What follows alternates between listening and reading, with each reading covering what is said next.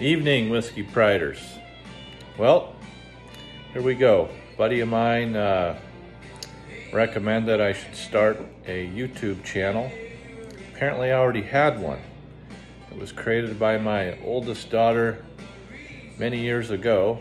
And so I believe if you go back, maybe, maybe not, not sure how this fully works, but um, if you go back a little bit, you'll see some squishy videos and squishy reviews and things of that nature. So this is the newly revamped uh, YouTube account. It's apparently in my name. And so here we go for the first uh, post, I guess, or whatever. We're going to be tasting um, a bourbon that I have not had. And I figure since it's uh, Black History Month, why not honor the uh, maker of this particular whiskey here,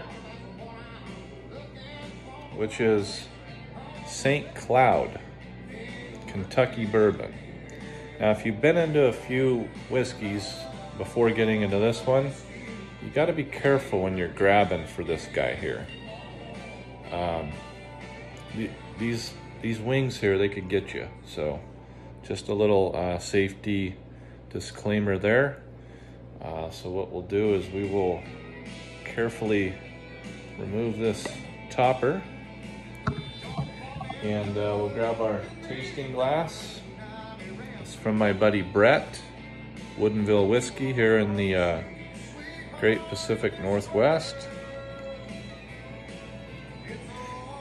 Set that right there. Let's give her a little swirl and a little swig.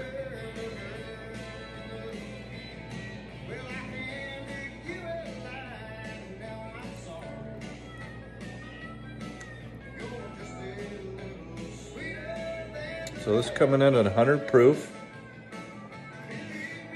It's got a little, it's got a little something there for sure. This is the single barrel. Um, I'm not a big, everybody's palate's different, so I'm not, not necessarily doing this to give you my tasting notes. Um, because everybody's gonna be a little different there, some the same but it's pretty good.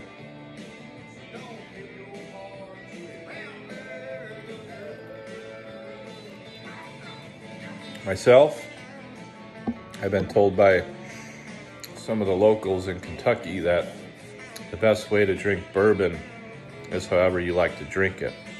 That being said, I'm a rocks guy.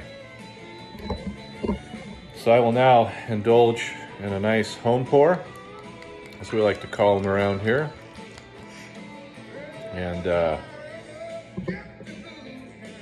cheers to all you whiskey priders out there. Have a great Monday.